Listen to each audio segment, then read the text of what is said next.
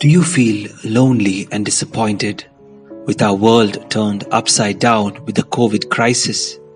Do you believe you are unable to cope? Are you feeling empty within, being unable to connect with those whom you love and cherish? Are you frustrated at being closed up and suffocated with the limitedness of your current situation? Do you feel no one really loves you?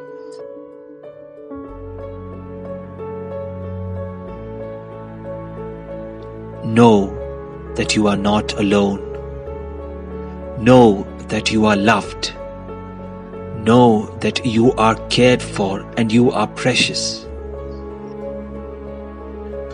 Know that you are valued beyond measure. Know that you are connected to an infiniteness and relationships that go beyond the possibility of definition. Know that you belong. I'm inviting you because I know that I belong.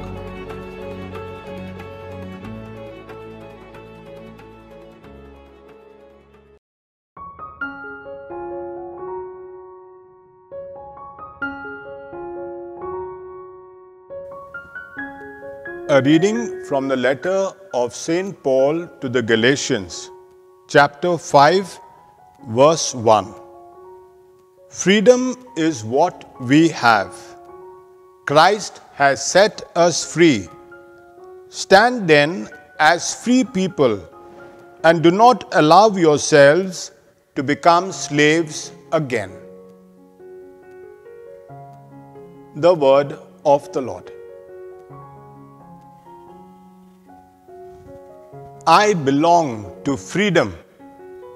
The God who created me with so much love wants me to be truly and completely free.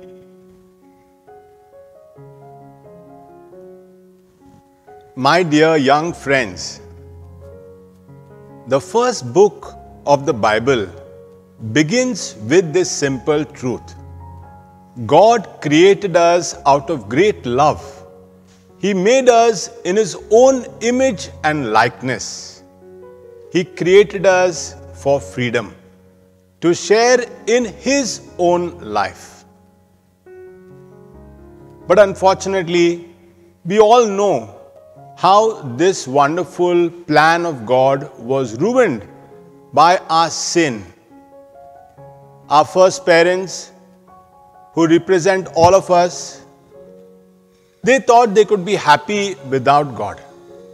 And they sought freedom from Him. Unfortunately, in separating themselves from Him, they destroyed their own happiness. But the Bible is full of wonderful stories of how God, time and again, went after our ancestors and pleaded with them with great love to come back to Him, to enter once again into this beautiful reality of His love for us. God wants to free us, God wants us to be liberated, He wants us to be happy. But, my dear friends, true happiness can only come from genuine freedom. And genuine freedom can only come by linking ourselves with a God who loves us. True freedom, my dear brothers and my dear sisters, comes from living in Jesus. All of us want to be free. And unfortunately, sometimes we think that freedom is doing whatever we want. It is my life and I can do and I should have the freedom to do whatever I want. In a sense, that is true. But sometimes the choices that we make, the attitudes that we adopt, lead us to self destruction. We create our own unhappiness we destroy the wonderful relationships that we share with our friends, with our parents, our relatives, and our colleagues. our selfishness gets the better of us. We want to be more than others. We want to be richer than others. We want to be happy sometimes at the cost of the happiness of others. And that is how the wonderful creation of God was ruined and continues to be ruined by our sin. My dear friends, God has made us for freedom. And if we want to discover true freedom, if we want to discover true life in God, we must rejoin ourselves with Him. We must come back to Him, Him who loves us with an everlasting love. Jesus tells us, I am the vine, my Father is the vine dresser, you are the branches. Like the branches who do not have life within them, separated from the vine, we will not have any life within us separated from Jesus, who is the life giver. As we reflect on the meaning and purpose of our lives, as we seek to enter fully into the wonderful truth of God's love, let us ask the Lord to give us that true freedom that can only come from Him. Let us be honest with ourselves, acknowledge our weaknesses, our faults, our shortcomings, and ask Jesus for the strength to turn back from ways and from attitudes that are not helpful and to come back to Him and to live always lives of love, of service, of forgiveness, and of friendship. God bless you all.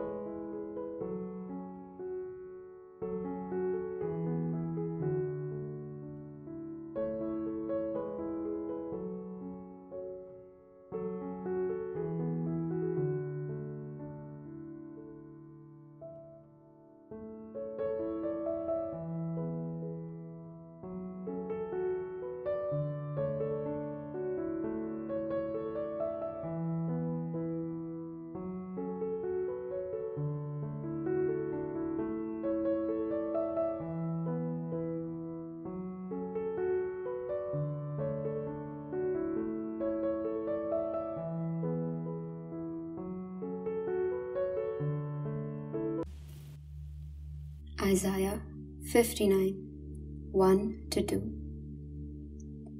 See, the Lord's hand is not too short to save, nor his ear too dull to hear.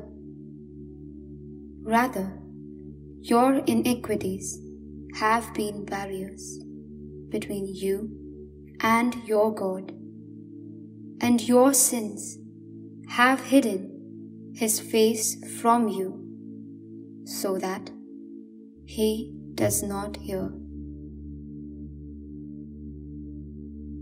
John 8 34 Jesus answered them, Very truly, I tell you, everyone who commits sin is a slave to sin.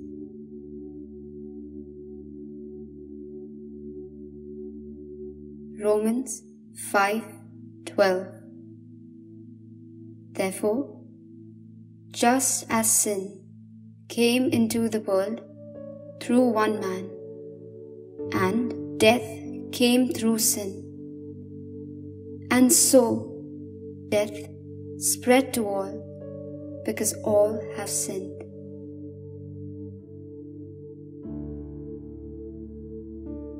Romans 3 10 to 18. As it is written, There is no one who is righteous, not even one.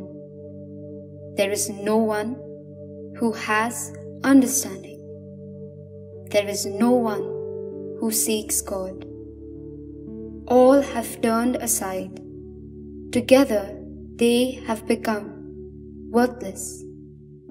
There is no one who shows kindness. There is not even one. Their throats are opened graves. They use their tongues to deceive. The venom of vipers is under their lips. Their mouths are full of cursing and bitterness. Their feet are swift to shed blood. Ruin and misery are in their paths. And the way of peace they have not known. There is no fear of God before their eyes. 1 John 3 8 to 10. Everyone who commits sin is a child of the devil, for the devil has been sinning from the beginning. The Son of God was revealed for this purpose to destroy the works of the devil. Those who have been born of God do not sin, because God's seed abides in them. They cannot sin, because they have been born of God. The children of God and the children of the devil are revealed in this way all who do not do what is right are not from God, nor are those who do not love their brothers and sisters. James 4:17 Anyone then who knows the right thing to do and fails to do it commits sin. Mark 7 20 to 23. And he said, It is what comes out of a person that defiles. For it is from within, from the human heart, that evil intentions come fornication, theft, murder, adultery avarice, wickedness, deceit, licentiousness, envy, slander, pride, folly. All these evil things come from within and they defile a person. Galatians 5 19 to 21.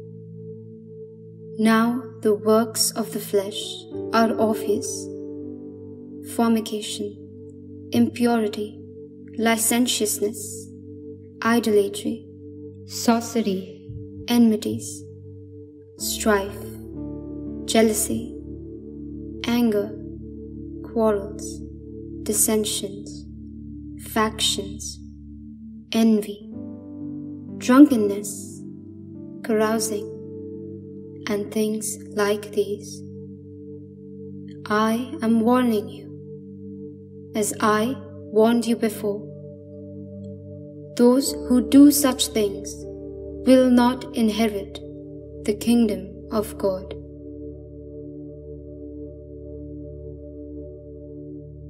One Corinthians six 9 to 10. Do you not know that wrongdoers will not inherit the kingdom of God?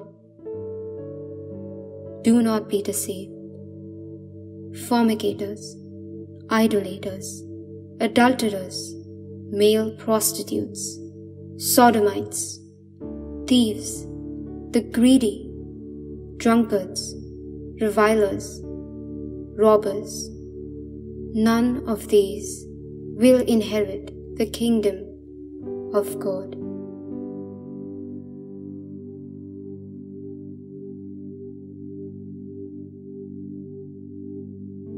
Revelation 21 8.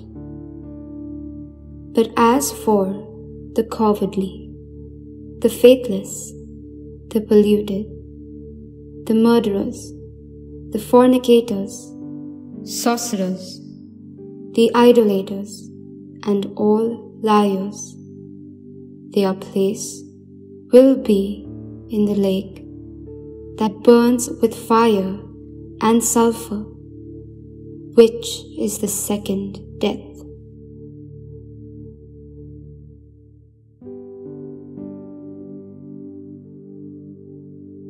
James 4 4 Adulterers, do you not know that friendship with the world is enmity with God? Therefore, whoever wishes to be a friend of the world becomes an enemy of God. Isaiah 1 4 Ah, sinful nation, people laden with iniquity, offspring who do evil children who deal corruptly, who have forsaken the Lord, who have despised the Holy One of Israel, who are utterly estranged.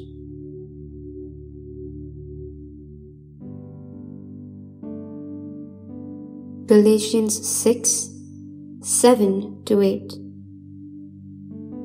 Do not be deceived.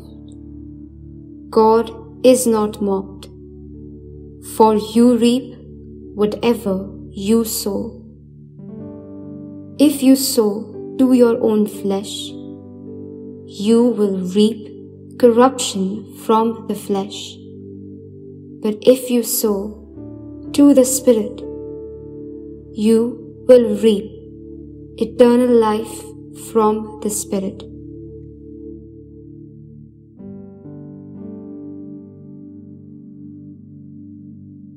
Mark 9 43 to 48. If your hand causes you to stumble, cut it off. It is better for you to enter life maimed than to have two hands and go to hell, to the unquenchable fire. And if your foot causes you to stumble, cut it off.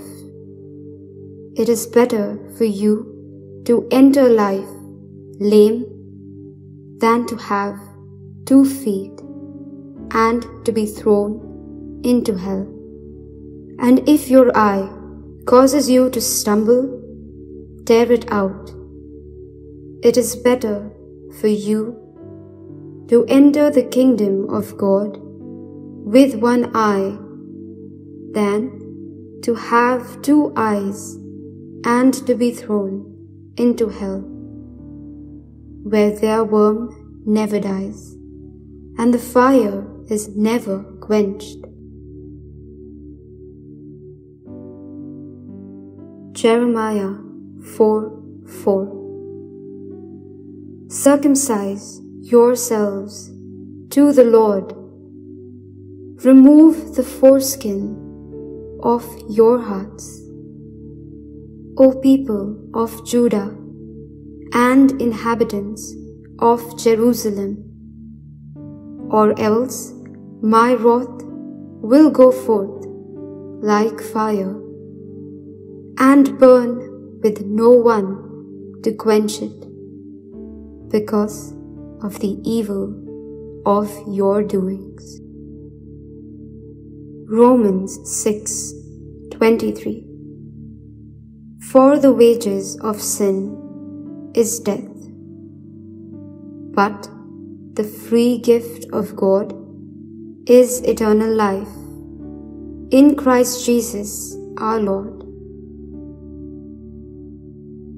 1 John 1 8 to 10 If we say that we have no sin, we deceive ourselves, and the truth is not in us. If we confess our sins, He who is faithful and just will forgive us our sins and cleanse us from all unrighteousness. If we say that we have not sinned, we make him a liar, and his word is not in us.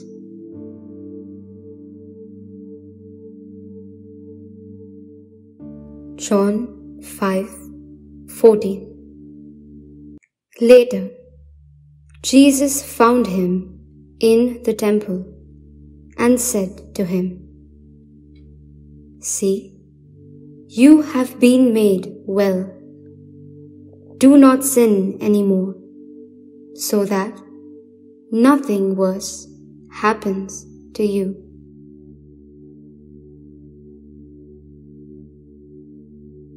John 8 10 to 11 she said, No one, sir.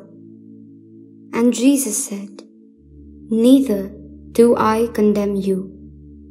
Go your way, and from now on, do not sin again.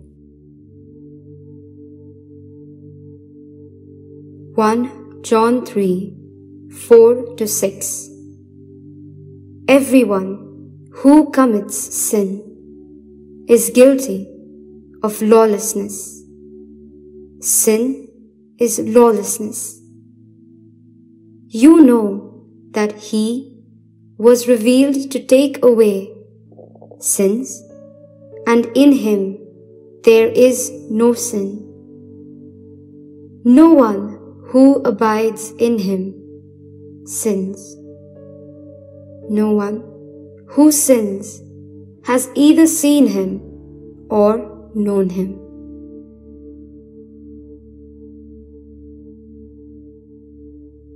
Isaiah 44 22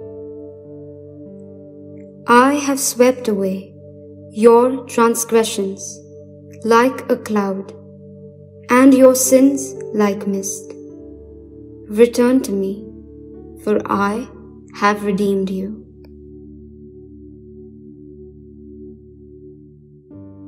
Isaiah 1 18. Come now, let us argue it out, says the Lord.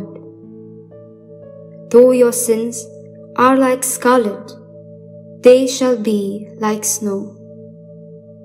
Though they are red like crimson, they shall become like wool.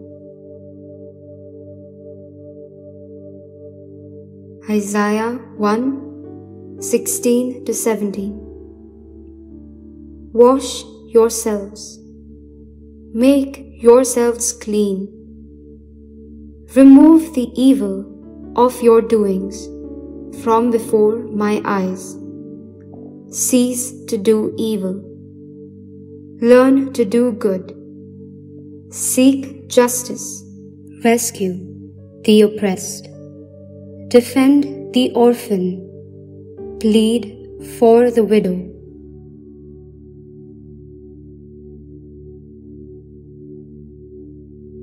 Ephesians 1 7 to 8.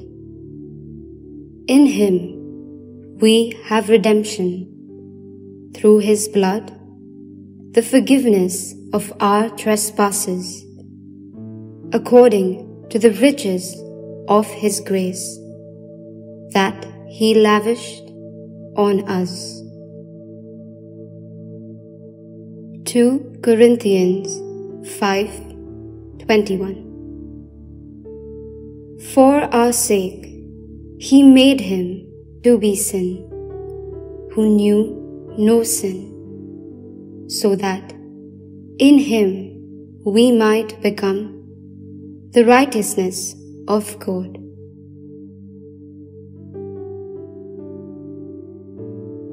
One Peter two 24 to 25.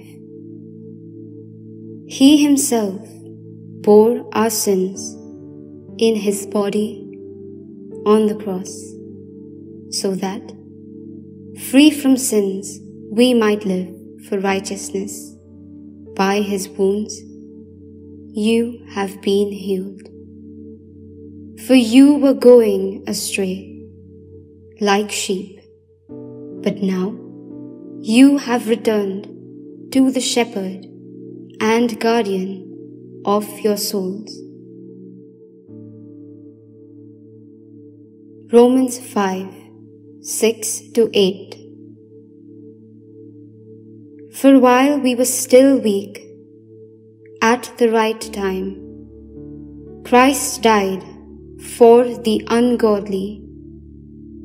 Indeed, rarely when anyone die for a righteous person, though perhaps for a good person, someone might actually dare to die. But God proves His love for us in that while we still were sinners, Christ died for us. 1 John 2 1 to 2 My little children, I am writing these two things to you so that you may not sin.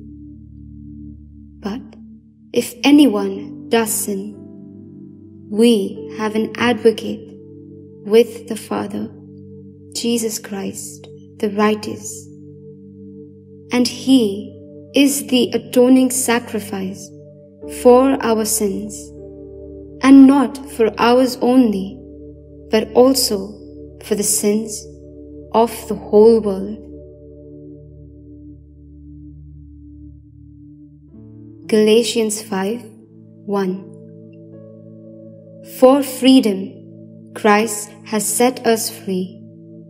Stand firm, therefore, and do not submit again to a yoke of slavery.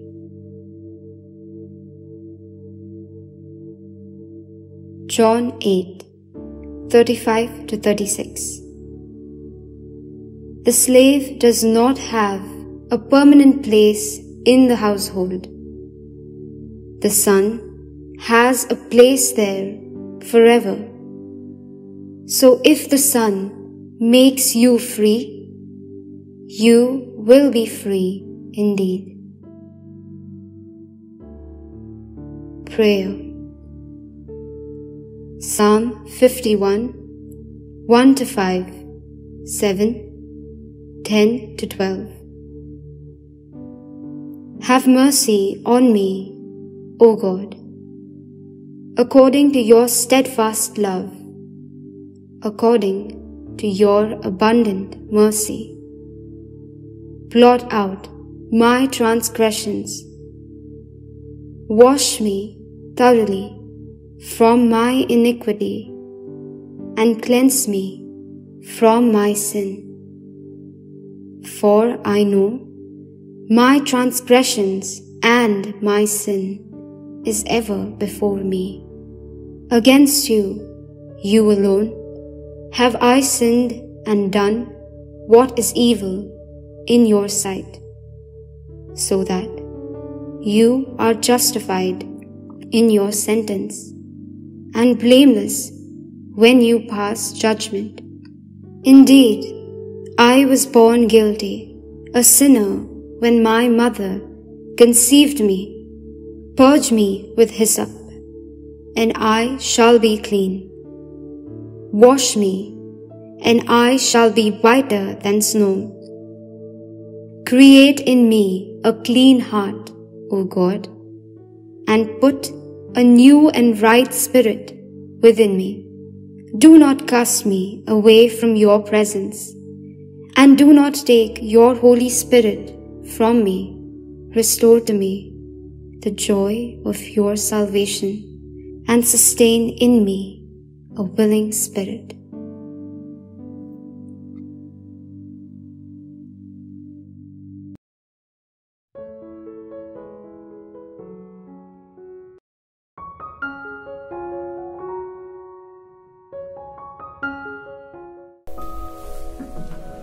Namaste, my dear sisters and brothers. The God in me greets the God in each one of you.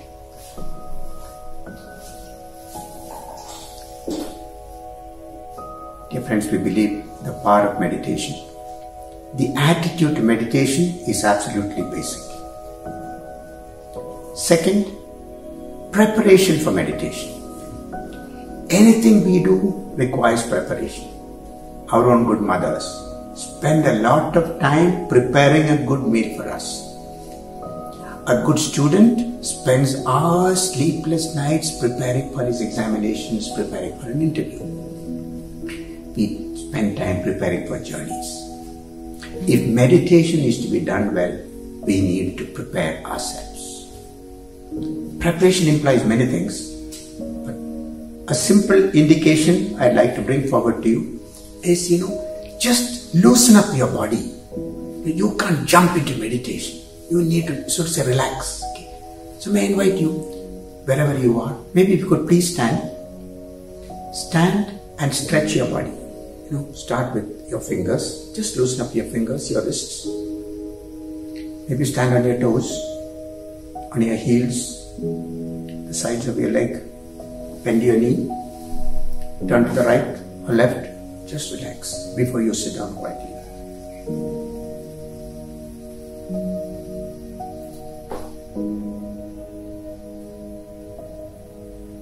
Now please be seated. Before you take your posture for, pos- pos- posture for meditation, may just indicate about the method of meditation we want to do today.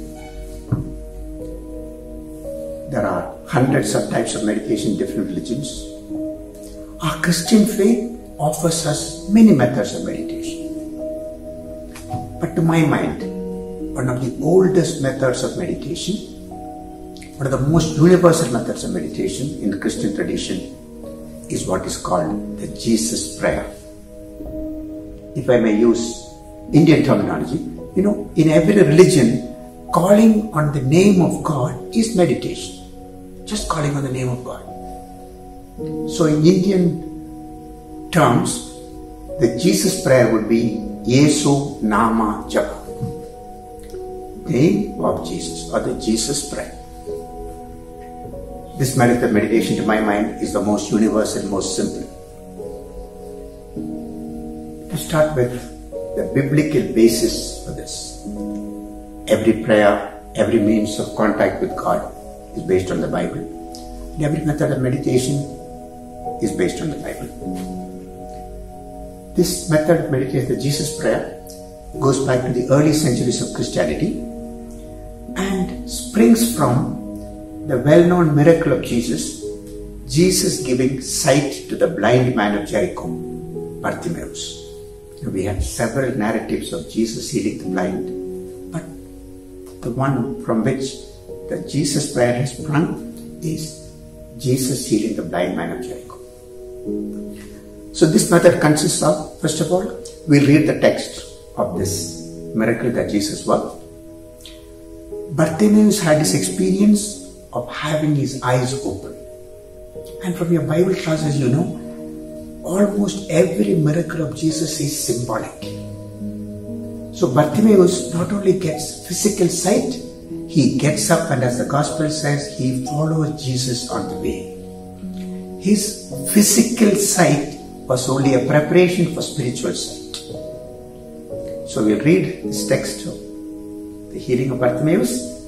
We will try to make it our own, and thus, by God's grace, we all have our physical sight, but we will get the spiritual sight of following Jesus, coming closer to Jesus. Okay, friends, let's prepare ourselves for meditation.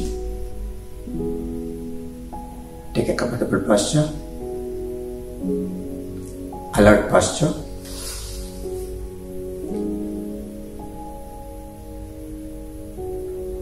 Become aware of our breath. You know, breath awareness is not only one method of meditation, it is actually a preparation for any method. Breath is the best means of recollecting ourselves. Minds are in constant motion, scatterbrained, so to say. When we recollect our breath, we recollect our whole selves. So, with this comfortable posture, with our bodies erect, let's become aware once again of our breath. God breathing life into me here and now.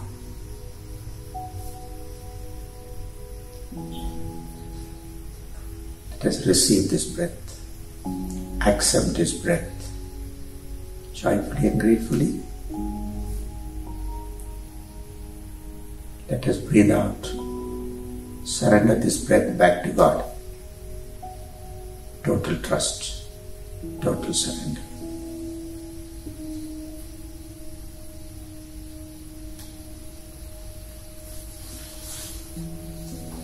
A reading from the Holy Gospel according to Saint Mark. Chapter 10, verses 46 to 52.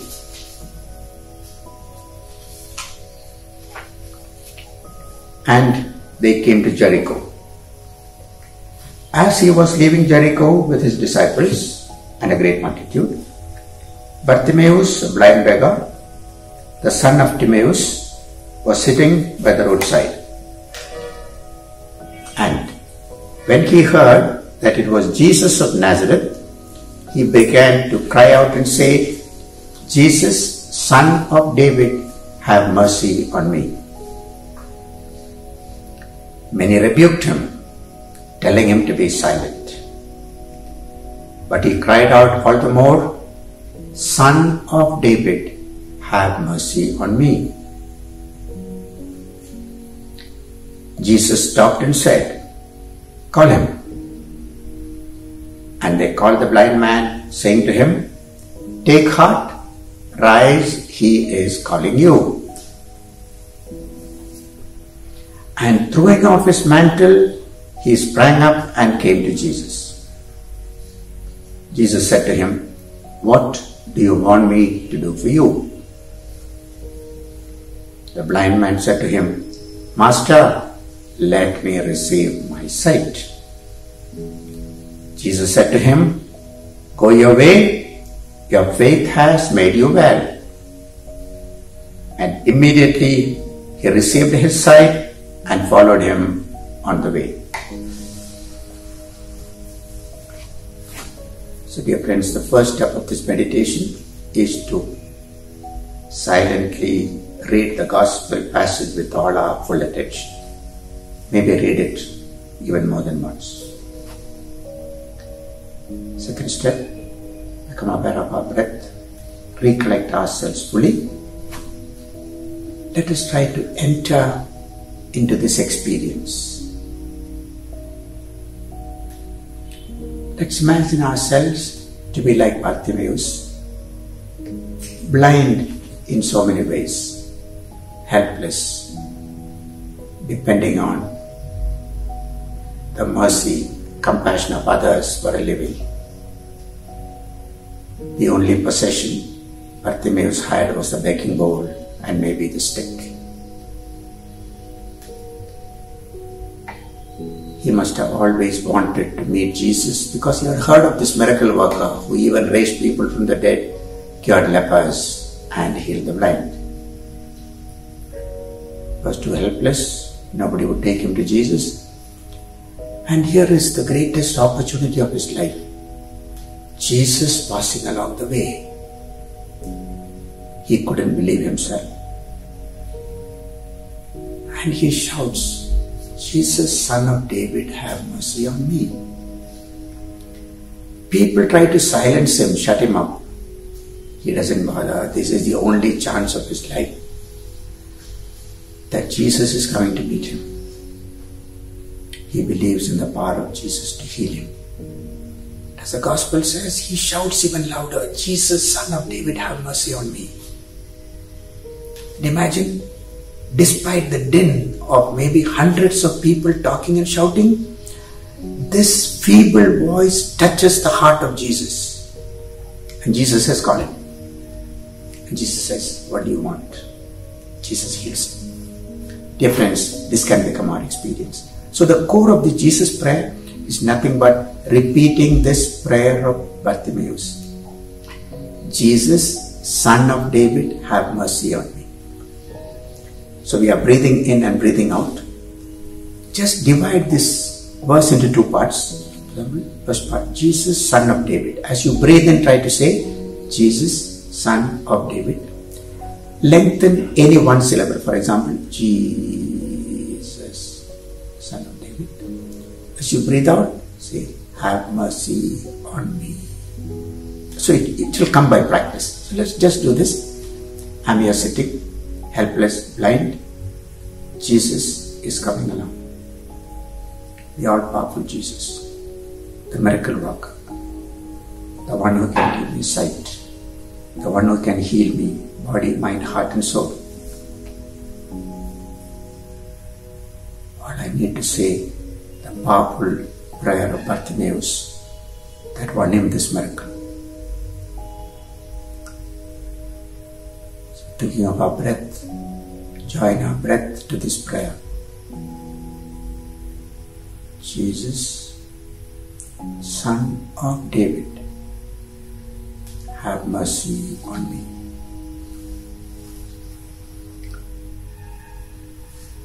As our breath enters into every atom and cell of our being, from the tip of our head, from, sorry, from the pit of our head to the tip of our toes, with the breath, let this prayer enter.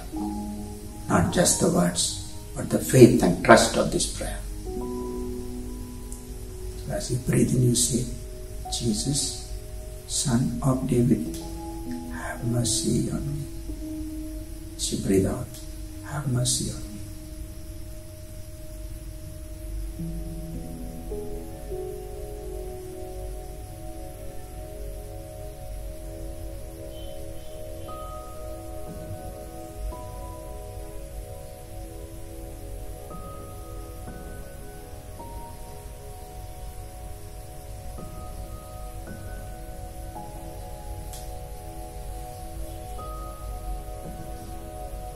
Let's conclude by saying, even aloud, Jesus, Son of David, have mercy on me. Glory be to the Father, and to the Son, and to the Holy Spirit, as it was in the beginning, is now, and ever shall be, world without end.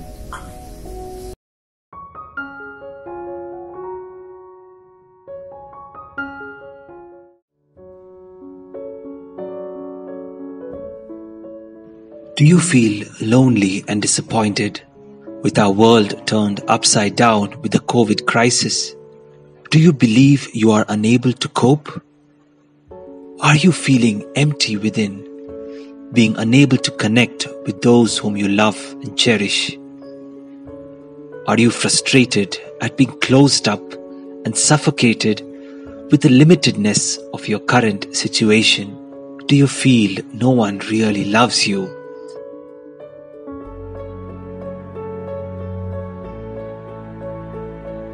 Know that you are not alone. Know that you are loved. Know that you are cared for and you are precious. Know that you are valued beyond measure. Know that you are connected to an infiniteness and relationships that go beyond the possibility of definition. Know that you belong. I'm inviting you because I know that I belong.